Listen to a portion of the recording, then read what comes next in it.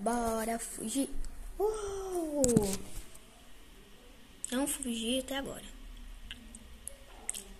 Ok, talk. Olá. Tem alguém aí?